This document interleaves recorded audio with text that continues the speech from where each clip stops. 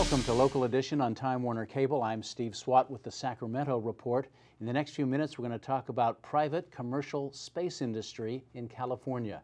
My guest is Steve Knight, a member of the state senate from Antelope Valley. Thanks very much for being with us. Thanks, Steve. Thanks for having me. And your your district, for those who live outside the district, I mean, it really is home to a thriving space industry, isn't it? Well, you know, for about the last 70 years, the uh, government, NASA, and the U.S. Air Force has been sending people up into space. And uh, in 2004, it all changed. Little town in Mojave, uh, they sent a private person into space with private money and that just kind of changed the whole game and made us look at uh, how you and I might be in space someday. And now you have some billionaires. Paul Allen is one, and Sir Richard Branson is another, who are pouring money into the space in, private space industry. Uh, in your in your district, they are, and uh, you know you've got Elon Musk down with SpaceX, and uh, Paul Allen kind of started it with the with uh, the spaceship company. Uh, before that, it was um, it was just a company that built airplanes. It was Burt Rutan out there building airplanes and building VariEze and, and things like that. And so Paul Allen went out there and put some money into it, quite a bit of money. And then Richard Branson has followed along and put a ton of money into it. And now he's created the spaceship company. And uh, we're seeing, you know, upwards of 50,000 jobs over the next 20 years in this industry alone. We'd like them to be here in California. We think that we have the brain trust, we have the know-how to do this type of activity, and, uh, and so we want them to be here.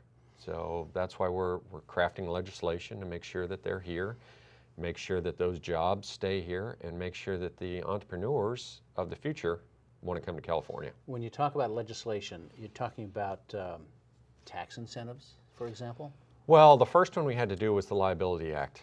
And that basically said that, uh, you know, starting this year, they hope to put people into space, the, uh, the wealthy people, uh, Justin Bieber's and uh, the people that can fork out $200,000. Um, you and I probably can't do that. And so we are going to allow them to do that, but they're going to sign their name on the dotted line.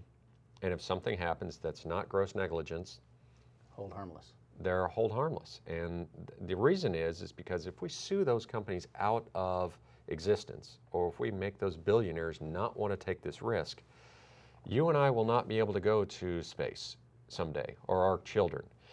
And the next generation is going to be able to get in a spaceship in LA and fly to Tokyo in two and a half hours. And if we allow that to happen, we will, uh, you know, things change and it changes for the better. And right now, California, your area really is sort of leading the nation in terms of this, correct? We are, but many other states are taking leaps forward to allow these companies to be there. And uh, Colorado and Virginia and Texas and Florida have been at the forefront of allowing uh, liability changes and, and allowing people to take a risk. And, and when the consumer rights attorneys say, well, we want to keep that risk down to a minimum, I say, you know, back in, in the late 1890s, the Fords of the world, the Daimlers of the world, they didn't have all these lawsuits and all this uh, torque problems.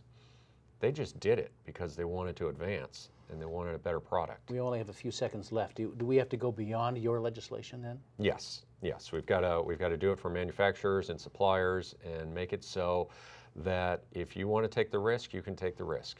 But well, it's a fascinating subject, and uh, I hope we have you back here as Absolutely. We, we follow the progress of your legislation. And uh, uh, Senator Knight, thanks for being here and talking about it. Thanks, Steve. And thanks to our viewers for watching Local Edition on Time Warner Cable. A reminder, you can see this and other interviews on YouTube and also on My Government On Demand.